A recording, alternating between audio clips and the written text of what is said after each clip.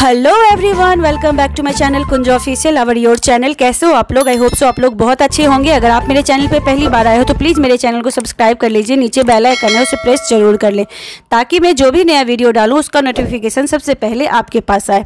आज मैं आप लोगों को बताने वाली हूँ जितिया व्रत के बारे में। जी हाँ जितिया का नहा खाए कब है? जितिया के नहा खाए में क्या क्या किया जाता है? क्या खाया जाता है और क्या नहीं खाया जाता है?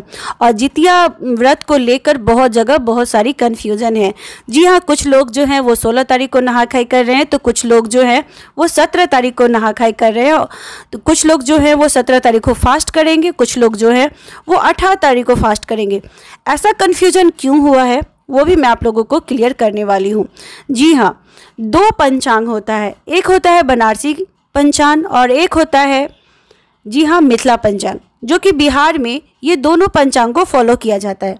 जो भोजपुर से रिलेटेड जो भोजपुर के हैं, वो बनारसी कैलेंडर को फॉलो करते हैं। जी हाँ और बनारसी पंचांग को फॉलो करते हैं और मानते हैं। और जो मिथिला से हैं, वो मिथिला पंचांग को फॉलो करते हैं। तो मिथिला पंचांग में जो है, आइए सबसे पहले आप लोगों को बताते हैं मिथिला पंचांग।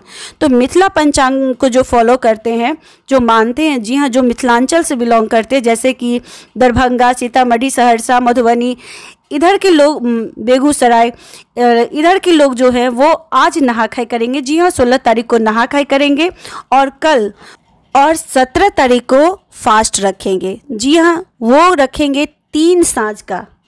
कल 24 घंटा और संडे को पूरे दिन रखेंगे, शाम में जाके वो पारण करेंगे। वही अगर बात करूँ, बनारसी कैलेंडर का, जी हम बनारसी पंचांग का। तो ये लोग कल नहा खाई करेंगे, सत्रह तारीख को नहा खाई करेंगे और अठारह तारीख को फास्ट करेंगे। तो ये जो डाउट था वो आई थिंक आप लोगों का क्लियर हो गया होगा। चलिए अब बताते हैं। बहुत लोगों का सवाल आया था कि जितिया में जो है वो मछली खाना चाहिए कि नहीं? जी हाँ मछली और मरुआ की रोटी, ये जो होता है, बहुत ही नियम होता है नहा खाए में।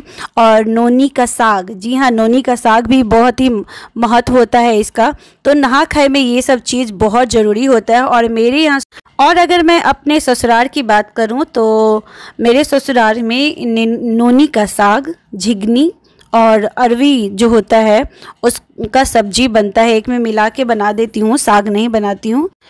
वही मिलाकर बना देती हूँ और सबसे पहले चील और सियार के लिए निकाल दिया जाता है और उसके बाद जब हम लोग नहा खाई कर लेते हैं तो फिर मम्मी ओटगन बनाती हैं। जी हाँ जितने आपके घर में जेंट्स हैं, सारे के लिए बनाया जाता है। मेरे यहाँ छः ओढ़गन बनता है और उसके बाद रात में जी हाँ दरवाज़ा के दोनों साइड में ओढ़गन मम्मी रखती हैं, फिर उठा के रख दिया जाता है, पूजा जब कर लेती है मम्मी तो और उसके बाद वही घर के जितने जेंट्स हैं, उनको खिलाया जाता है। फिर नहा खाए के रोज़ जो सब्ज़ी बनाते हैं, जी हाँ उसको जिगनी के पत्ते पे सुबह में छत पे दे दिया जाता है चिल और सियार को खाने के लिए। और उसके बाद सरगी तीन या चार बजे सुबह में सरगी हम लोग करते हैं। जी हाँ ओठगन जिसको आप लोग बोलते हैं ओठगन खाते हैं। और उसके बाद पूरे दिन, जी हाँ जितिया अष्टमी के रोज़ हम लोग पूरे दिन निर्जला व्रत करते हैं चौबीस घंटा।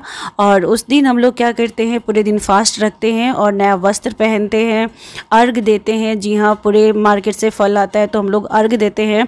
और उसी पे जितिया रखा जाता है डाली पे। और जब जितिया का अर्घ हम लोग दे देते हैं, उसके बाद कथा सुनते हैं जिती, जितवाहन महाराज का कथा सुनने के बाद जो जितिया होता है, वो अपने सबसे पहले पुत्र को गले में पहनाया जाता है। जी हाँ अपने बेटे को गले में पहनाया जाता है। उसके बाद जो माँ होती है, वो अपने गले में जितिया लगाती है। कि सास ससुर नहीं होते हैं, वो बाल भी नहीं झाड़ते हैं, सिर्फ़ फास्ट करके रह जाते हैं जितिया का। और मिथिला में है कि डाली भी भरा जाता है। वहाँ पे सीजनली एक फूल आता है, कटो, कटोरिया का फूल हम लोग बोलते हैं। उससे डाली भरा जाता है जितिया में।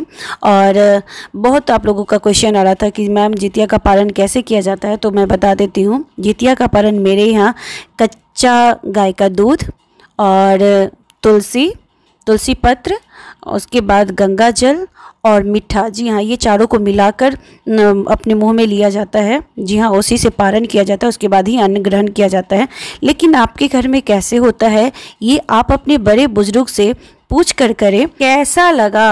आप सभी को हमारा ये वीडियो। जी हाँ एक ही वीडियो में मैं कोशिश की आप लोगों को बताऊँ, नहा खाए कैसे किया जाता है, पूजा कैसे किया जाता है और पारण कैसे किया जाता है। जी हाँ कोशिश मेरी थी आप लोगों को पूरी जानकारी दूँ और आई होप सो आप लोग को बहुत अच्छा लगा होगा। तो प्लीज़ मेरे चैनल को सब्सक्राइब कर दीजिएगा और अगर आप पहली बार आए हो तो प्लीज़ मेरे चैनल को लाइक, सब्सक्राइब एंड शेयर करना बिल्कुल ना भूलना। मेरे वीडियो को एंड तक देखने के लिए दिल से धन्यवाद और Thanks for watching. Keep support.